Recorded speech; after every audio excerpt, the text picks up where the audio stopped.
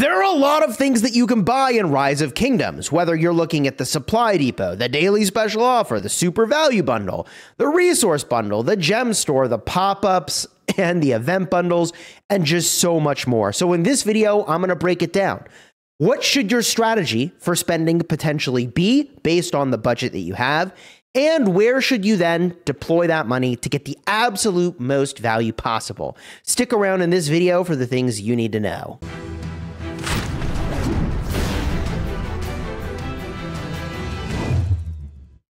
Hello, my friends, and welcome back. I'm Chisgule Gaming, and today's video is in fact sponsored by the makers of Rise of Kingdoms.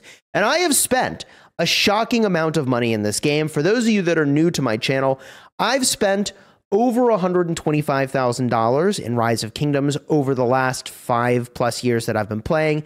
And by the end of this year, I'll probably have spent over 150K total in my journey in Rise of Kingdoms. This very much qualifies me to talk about what is worth spending on because I've actually spent the money. I actually know what you get. And I can tell you, was it worth it or not? And like in some cases, yes. And in other cases, I would say maybe I would shift that spending somewhere else or not spend on that now that I've purchased those bundles. So you can use the timestamps in the description to jump to whichever part of this video you are most interested in. And I would encourage you to do that. At the start of the video, we're going to talk about spending strategy. And from there, we'll talk about some of the best bundles based on your strategy. And there are several key strategies for spending in this game. But before I talk about that, I do want to mention that it's very easy to spend way more than you had expected in this game. Trust me, I've actually done that where I budget for the year. I'm like, here's my budget, and then I blow past it. So it is very, very worth considering your life priorities before you spend in a mobile game, whether it is saving for retirement. And by the way, this is not financial advice. I am not a financial advisor, but there are many things that will give you potentially great joy and satisfaction over your life.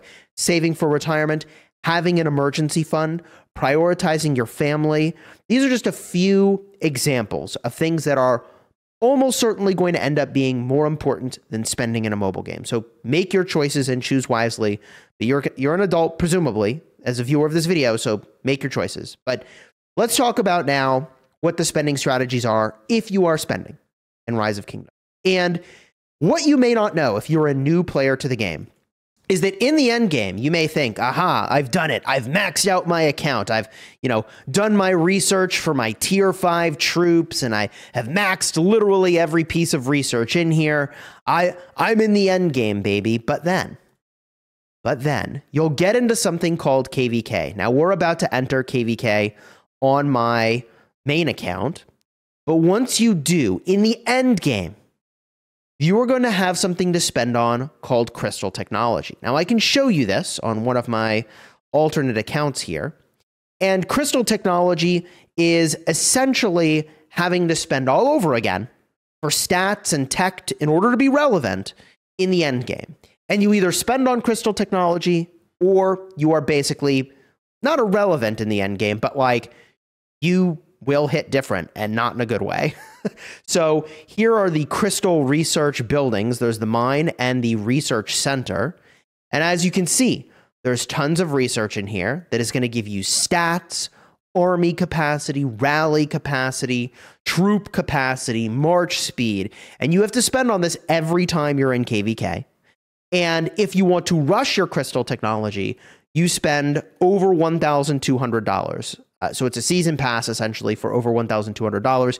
If you want to approach it in a value oriented way, and you will not be at the bleeding edge of crystal technology, but you'll still be a good field fighter, you can spend somewhere between 120 to we'll call it 400 bucks on your crystal technology.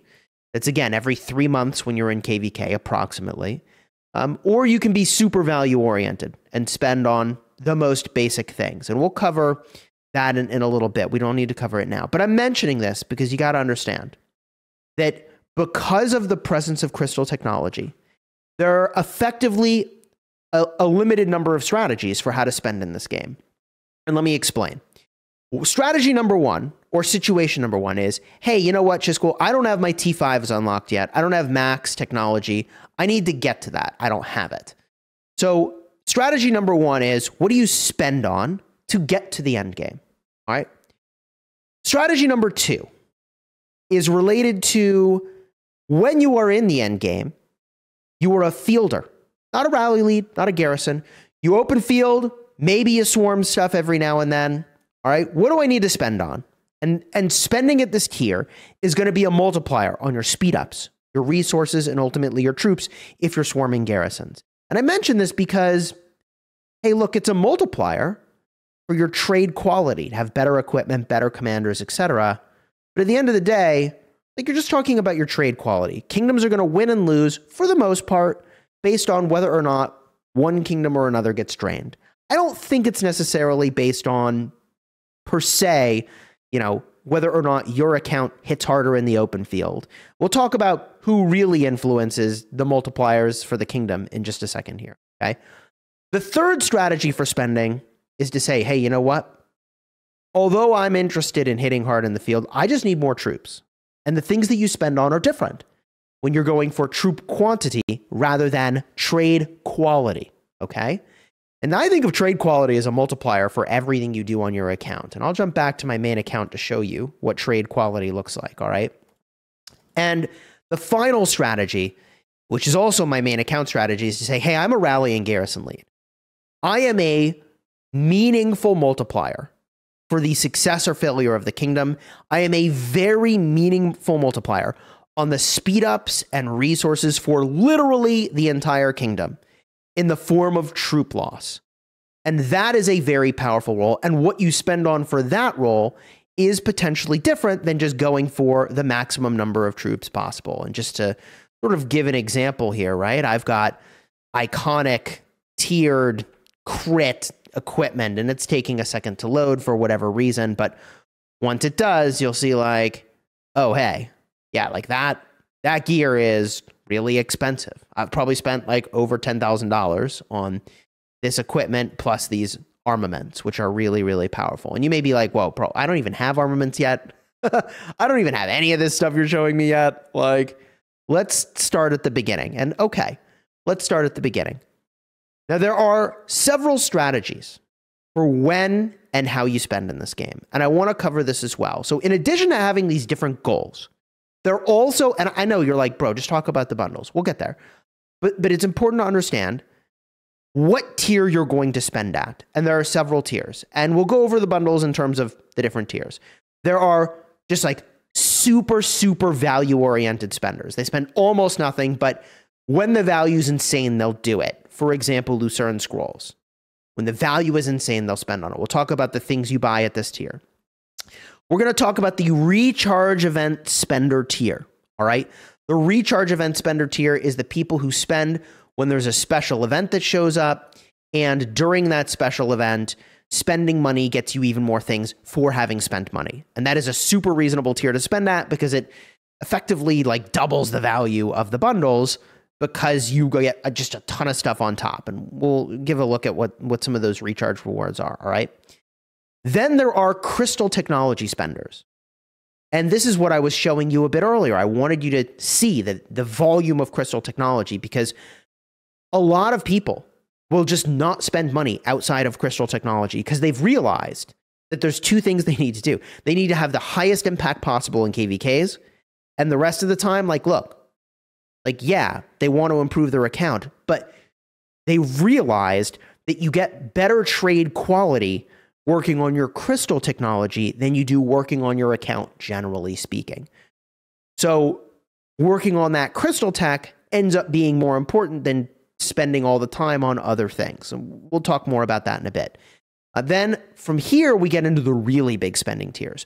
The really big spending tiers are the people who always play all the events. And, like, yeah, nope, you got to buy more than just uh, some of the basic bundles to have the gems to do that.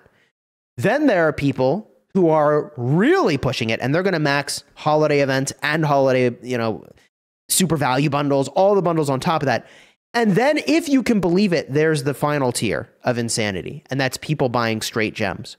Recently, someone spent over $500,000 on the wagon of gems. No, I'm not kidding you.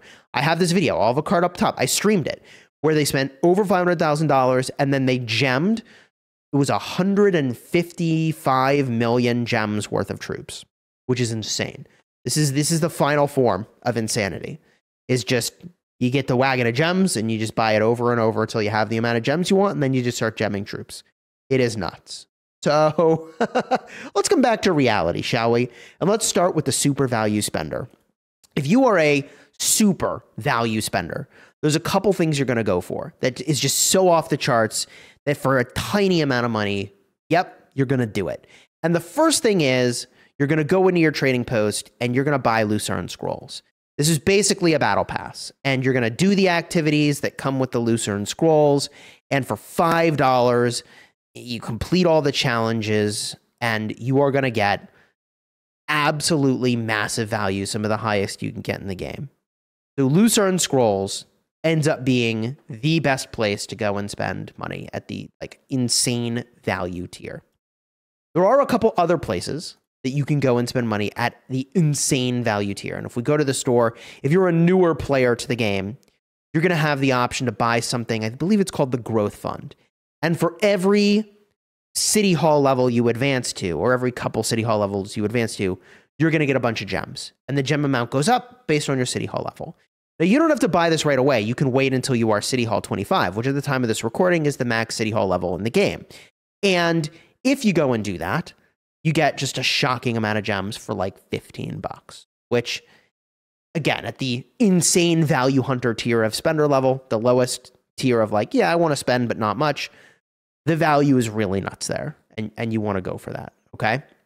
The other thing that people typically spend on at that tier of like the just like super value spender is they go to the supply depot and although they don't buy all these supplies, which for higher spend tiers I would definitely recommend. We'll get to that. They buy the 30-day gem supply. All right, and they just keep that sucker running. And they'll refresh the 30-day gem supply during a recharge event. That way they get a little bit extra for having spent money. And boom, that's it. Just a couple things, max value possible, and you can play this game in a smaller kingdom, a less powerful kingdom, and you can really enjoy it. You can enjoy the open field. Yeah, you'll get beat up by higher spenders. It is what it is. You just play for value over time, and it is a fine way to enjoy the game. All right. Now, as I mentioned, recharge events are super valuable. And I'll take maybe a couple screenshots and put some of those on. Although, if you want to see what recharge events look like. I've covered them in depth in dedicated videos. I'll have a card up in the top or maybe in the end screen. Um, the little info button will have it where you can see how these recharge events sort of work. But the big picture is over the course of some number of days, you top up some amount of gems. It's raw gems, not pop up uh, bundles, but raw gems. And having gone in and purchased your raw gems um, is going to give you extra goodies for having done so. Okay. This is sort of the second tier of spender in the game. Is you say, hey, I'm gonna do these recharge events, and I don't normally spend, but I'm gonna do recharge events because it basically doubles the value of. I'm, I'm shooting from the hip on the exact amount, but it, it effectively dramatically increases the value of the bundles you're buying. And in that situation, my strong recommendation to you when you go and do these events, which typically show up like once a month, there'll be a recharge event. My recommendation is that's a great time to top up your supplies. And the supplies generally tend to be really high value. In this game, you can either get things fast and pay a lot for it, or you can get them at value over time. And the supply depot is exactly that spot. So during a recharge event, I'll go in and I'll get the 30 day gem supply, make sure that's cooking for, you know, 30 days. I'll get the speed up supply. I'll get the material supply. I'll get the armament supply. And if, it, if I was in the early game, I would definitely get the research speed up supply, hunting for value. Okay. The other thing that is really great value that you will potentially spend on during a recharge event is the daily special offer. The daily special offer, uh, depending on how old your kingdom is, can bring a variety of legendary commanders. And this bundle is actually insane in terms of how much value you get for a relatively small amount of money. And the way to go and do this is to buy effectively all three of the bundles. There's three of them in the, the daily special offer. the one, two, and three dollar tier, you just you buy all that for five bucks. And I did the math on this in a prior video. I'll have a card up in the top, but it is better than any super value bundle. It is better than the equivalent amount of spend, uh, spending in holiday bundles. It's probably better than a lot of pop up bundles. It's really nuts how much value you can get in this daily special offer. Uh, now, there are pop up bundles that can potentially be better, but remember, those will not count toward recharge events, which is a bit of a bummer. Now, on the topic, however, of being at this like recharge spender and value oriented spender tier, we do need to talk about the pop up bundles because the value is really good. And there are several pop up bundles that you need to be on the lookout for. Okay. If you're a new player to the game, you're going to get a bunch of pop up bundles that show up as you're building up your city, when you unlock tier fives. For the most part, those kind of pop up bundles are better than the super value bundles in the shop, but not as good as just waiting for a recharge event or spending at some other opportunistic time. So, although you might feel like, oh man, it's like a limited time City Hall related pop up, those bundles are typically better than what you can get here in the super value bundles, but I don't think they're better than just waiting for a recharge event. So if you're a very low spender, like I would not feel pressured to get those bundles. You're a bigger spender, you're rushing to T5, then they're very valuable because otherwise you're just buying super value bundles. Now, with that said, the most valuable pop ups come from things like summoning a legendary for the first time, uh, fully crafting or, or at least assembling the pattern for legendary equipment. It's called a Vanquisher bundle. And I believe that once you get to the end game, pretty much every time you get an inscription for a new formation spot, you'll get a pop up bundle for uh, armaments that's really, really valuable. There are also a couple really valuable pop ups related to equipment as you are unlocking your blacksmith and going in and working on where's my blacksmith? Over here. Um, working on your your equipment. So there are a couple pop-ups there that are super valuable but the one you're going to see most commonly is going to be this one right here. When you summon a new legendary it's the writer of history. Boom. Now writer of history is extremely high value even compared to the daily special offer. And for this you're spending five bucks you're getting 10 legendary commander sculptures guaranteed, and these can be applied to any legendary commander, which, like, yeah, for obvious reasons, that's going to be better than the daily special offer. So the only issue here is that this contains gem tokens, not raw gems. So this is not going to count towards recharge events, which is definitely a bummer. But this bundle is so high value that like I will definitely buy this on my restart account. I know I have a 117 million power restart account, whatever. I'm going to go and buy this. And we will talk a little bit later about flux scrips, another way to get a deal, and also flux, flux coins. So I'm just going to buy this. And let's get back to the topic of where to spend next. So we've covered the super value spender and what they're getting. We've covered the recharge event spender and what they are getting. And now we need to talk about that next tier of spender, okay? And that is the crystal tech spender. Now, the crystal tech spender realizes something very smart, which is that, again, you want to help your kingdom be successful.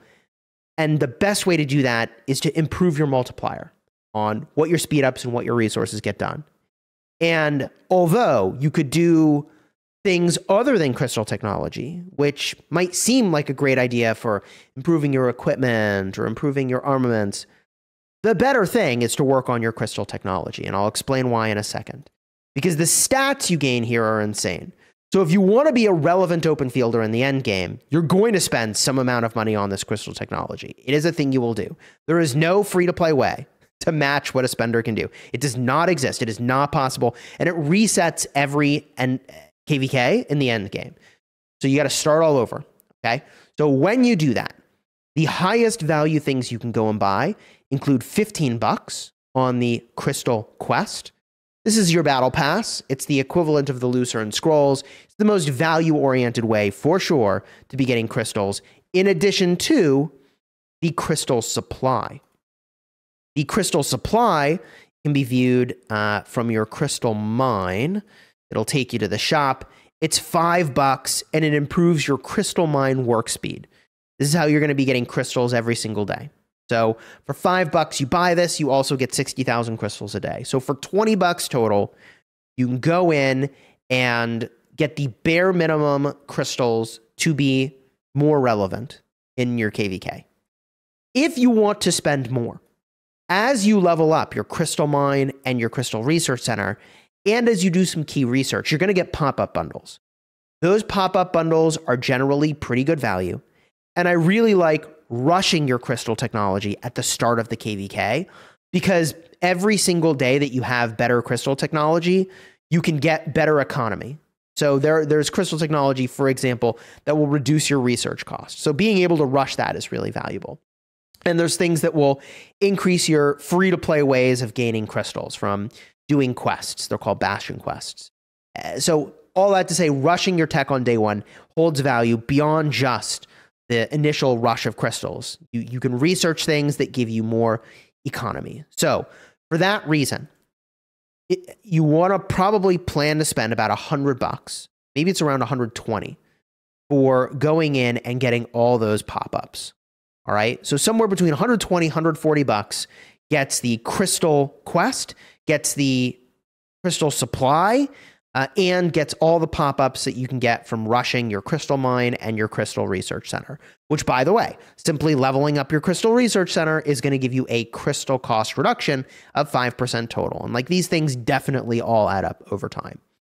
This is a very important spending tier because, again, I just want to emphasize how important it is to rush and, and push your crystal technology for your team if you are in the end game for your KVKs. All right, this is KVK season four and beyond. KVK season one, two, and three do not have crystal technology. Now, from here, if you want to spend more on crystal technology, there is a way to go and do that. Every time there is a major pass opening, and by the way, if I go into the KVK screen, you can go into the Chronicles. I can scroll through this, and when there is a major pass opening, you can see there'll be a little present icon there'll be a bundle called the Mountain Warfare bundle. And it's like 185 bucks for like 9.8 million crystals. That ends up being the next best way to buy crystals and the least effective way to buy crystals that many people will go and do if they're big spenders and they'll do this on a daily basis is they'll go in and they will buy the super value bundle called Conqueror's Will. That's 35 bucks a day. I want to say it's like more around a million crystals. I don't remember the exact amount. But it is the least effective way to buy crystals. But at the end of the day, a big part of what's happening with crystal technology is just having more crystal tech relative to your opponents.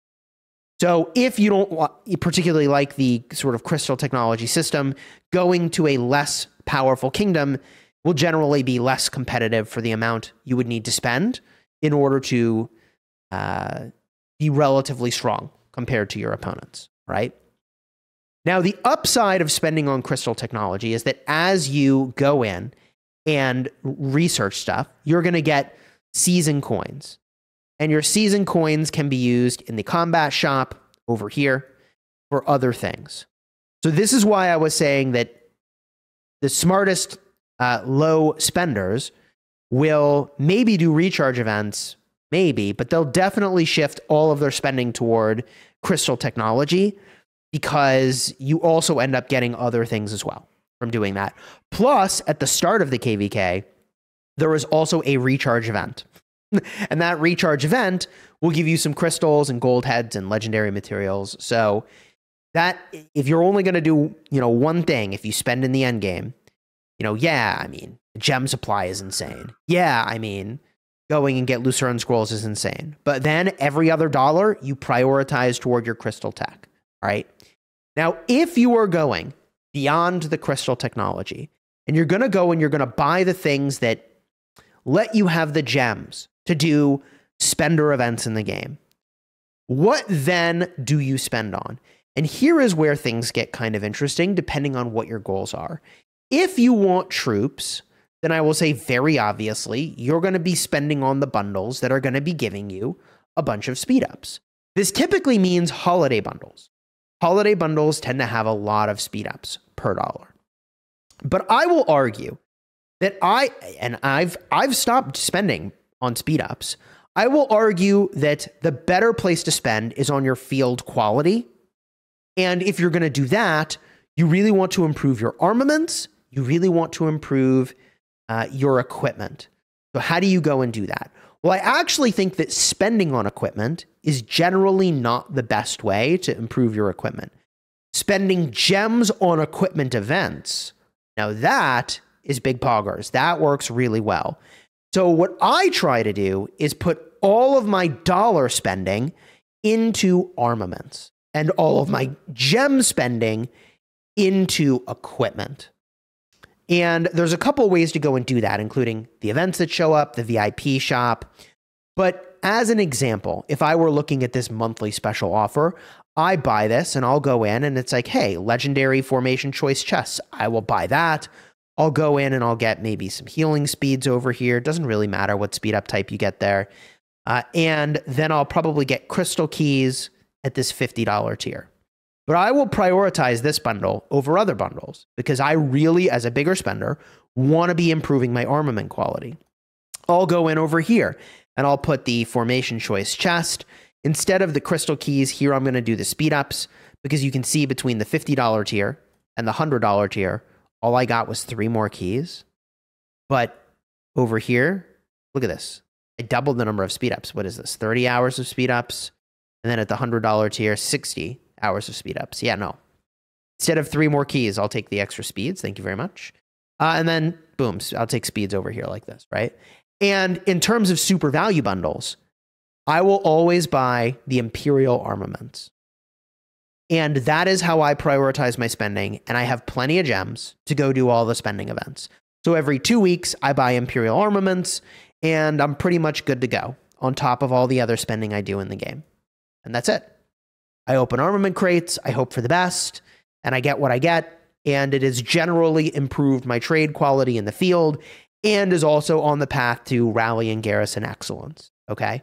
Now, if you want to go to the next tier of spending, then what you do is you start buying the super value bundles. And it all depends on your spend level. Again, there are several escalations. One escalation would be hey, I'm going to buy holiday bundles. The next ex- escalation would be I'm going to buy royal armaments every day. You really want to spend on those armaments? Look, if you spend car money on armaments, you're going to have a rally or garrison that actually is so insane that even the strongest kingdoms in the game, literally, my, someone I play with, his name is War Daddy Chad, his armaments are so good that like the best rally leads from 1960 were like your armaments are broken. It is disgusting. Okay. They literally were telling him that is broken. So you can do that. You can get to that point. And like royal armaments every day is how you do that. it, and it, we're talking about car money, like big car money, like 20, 30,000 dollars plus between imperial armaments, royal armaments, and you just keep hammering that. Like, yeah, that's how you do it. All right. In addition, there's these speed up bundles over here. And it's like, wow, Chisgule has not talked about all these super value bundles yet. Bro, WTF. So there's a couple super value bundles that are very important. The most important one is the bundle with passports, New World. Now, look, I'm not, I'm not going to talk about the extreme details of what's in these bundles, okay? But what I'll simply say is the New World bundle mat- matters, really matters a lot because you get passports. Passports are what you need to migrate to a new kingdom. If you were in the end game, you could need as many as 75 passports if you're at 100 million power or higher. And I think it is very, very important to be able to enjoy the game with who you want to enjoy the game with. So, in that regard, spending on this bundle is valuable. However, this bundle escalates the number of passports in a way that it's not so great for you. So, $5 tier gets you one passport. So, $5 for a passport. The $10 tier is going to get you two passports. Okay, still $5 for a passport.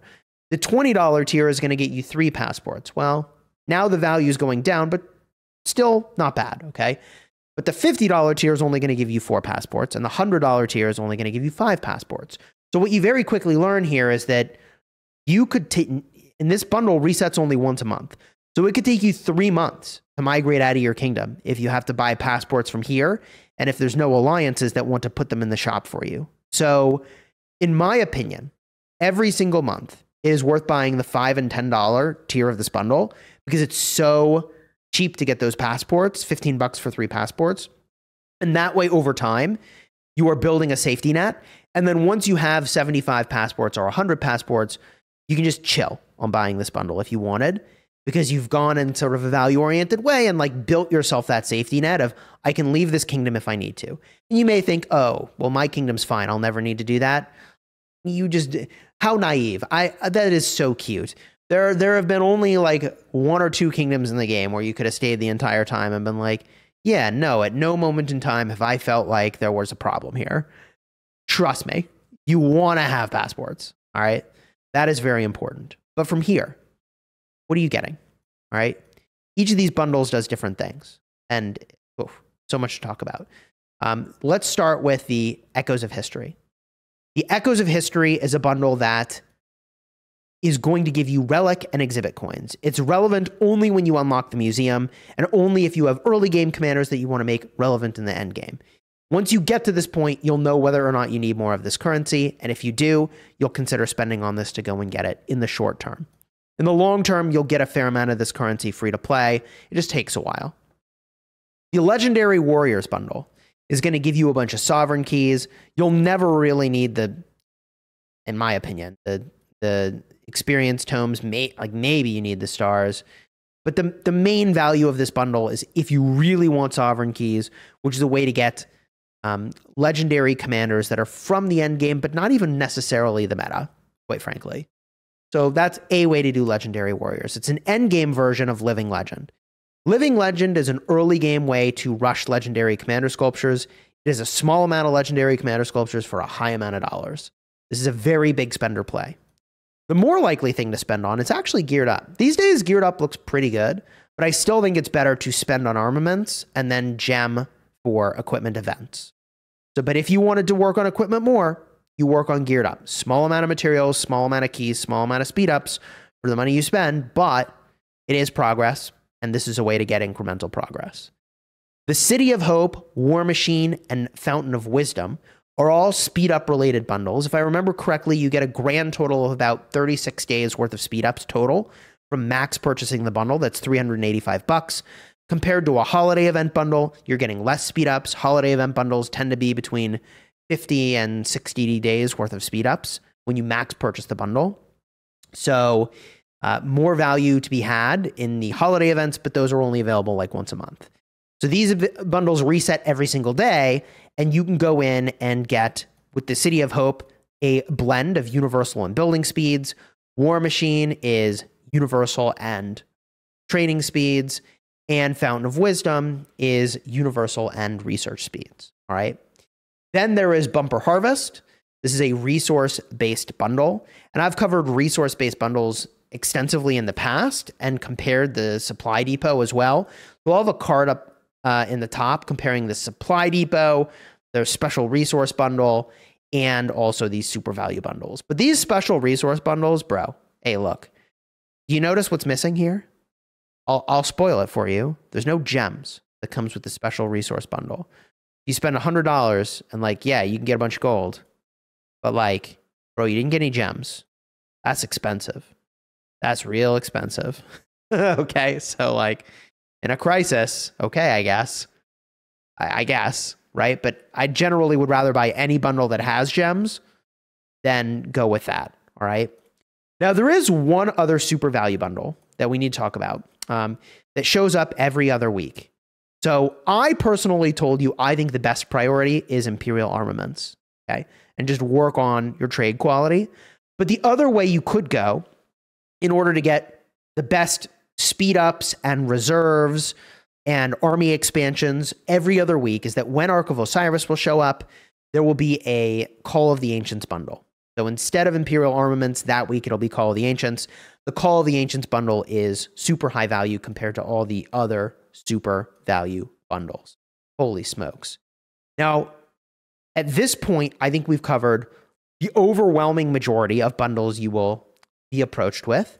The other thing I will point out that is actually really high value is that the first time you buy gems, you get double gems. Now, if you're spending those gems in events that are then going to give you a really good trade for your gems for stuff like the Wheel of Fortune, it's actually a lot of value to go in and purchase double gems over here. After you buy double gems the first time, it will no longer be double gems. So this $100 wagon of gems will be like just a 5,000 gem bonus. And, and after that point, no, you'd rather have all the other bundles than get the wagon of gems. Oh, man.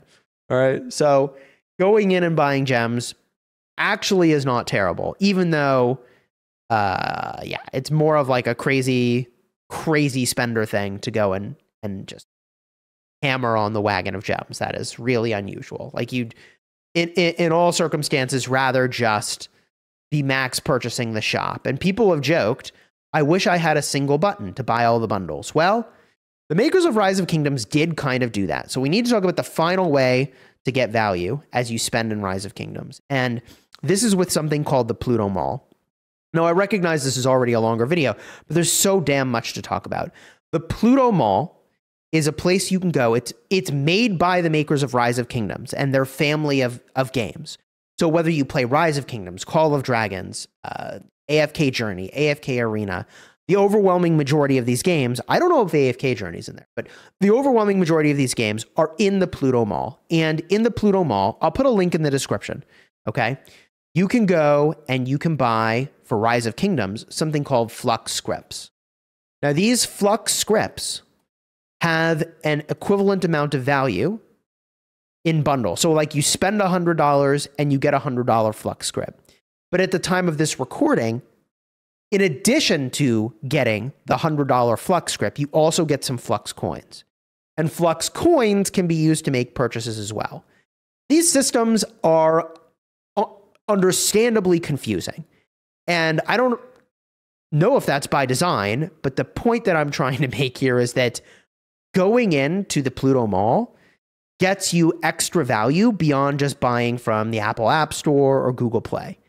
And the reason is that you get about uh, somewhere between 8 to uh, we'll call it 8 to 10% extra value for having purchased that same thing.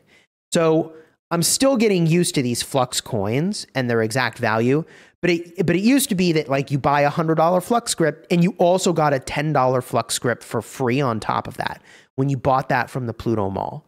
So when I want to go and make a purchase, like I would buy these scrips in the Pluto Mall. I also get some extra coins on top these days. And then I can go in here and I can make a purchase. So for example, I'll go to the daily special offer. I can go over here for five bucks and I can either spend my $5 Flux scrip or I can click this little button and it'll spend 55 of my Flux coins. So uh, let's just use my Flux scrip, buy it, and I got the bundle. So this is the best way, in my opinion, to spend in game. Is literally every time I go to spend, I will go to the Pluto Mall first. Let me just show you what that looks like. Okay, this is the Pluto Mall. Uh, and the website you can see here, it's https plutomall.com. Very straightforward. All right. Maybe you need the dub dub dub when you type it in, but I would assume not. Anyways, you select the game that you want. So I'm going to for this. Pick Rise of Kingdoms. Uh, but oh, it does look like AFK Journey is here. So when you're playing Rise of Kingdoms, you're watching my videos, you're almost certainly on the international servers. All right. And you're going to have to log in. Um, the way that you log in is pretty straightforward. I've covered this in another video. I'll have a card in the end screen for this if you want the full rundown. My intention here is just to show you this. So you log into your game account. You'll select which account you want to get the scrips. So you need to be very careful to pick the right city that you have to get these. Otherwise, you end up giving it to your farm and there's no way to change that they're on your farm. So be very careful. Select the right city, okay? And you can see here that you get extra stuff for having bought something. So, for example, as I was describing, here's the $100 bundle, and you get 100 extra Flux coins when you buy a $100 bundle. There you go, right? So, um, That's the way I literally buy everything in game now. Literally everything. I go to the Pluto Mall, I get my scrips, and then I make the purchase in game. All right. That's how you go and do that. There's a bunch of ways you can check out here. You use a credit card, you can use PayPal's, a bunch of approaches. All right. So hopefully this is helpful in getting you sorted out in 2024. And if you're sitting here thinking, whoa, Chisgule, like I'm a new player to the game, okay? And I'm getting all these dang pop-ups. Like, Do I need them or do I not need them? I kind of covered this earlier, but but I'll just say one one last time that the holiday events are the best value. But if you're going to be a bigger spender in the game and you want to really rush your city hall, like yeah, getting the city hall pop-ups are going to be fine. But if you want more information about like every pop-up that you get on every city hall level, I made a spending video in the past that covers that. All of a card in the end screen. I would encourage you to go check that one out. Uh, and in my other spending videos, I mean, over the years, they've added more bundles and more bundles. I've covered some of those. So, cards in the end screen for the information you need. Hopefully, you enjoyed this vid. If you did, throw a like on here, subscribe to the channel. And until next time, you have fun smashing the kingdom. Any other spender questions? Drop a comment down below, and hopefully, I or someone else will go and answer it.